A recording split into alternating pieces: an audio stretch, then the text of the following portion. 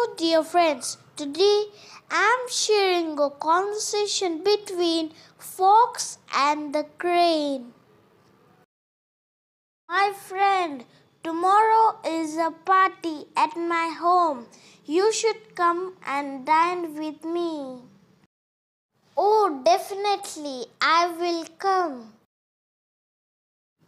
Welcome, friend. Please have a seat. I made a delicious soup. Please have it. Oh, I could only wet the end of my long bill in it. Oh, I am sorry that the soup is not to your liking. Oh, please don't apologize. I hope you this visit and come and dine with me too sometime.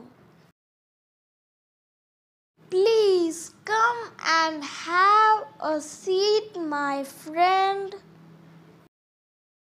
I had made a tasty soup to your liking. Please have it.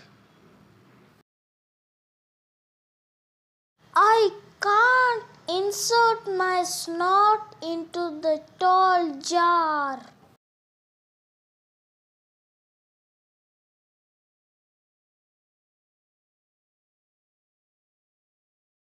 Friends, if you have any suggestions, please let me know in the comment section. Bye.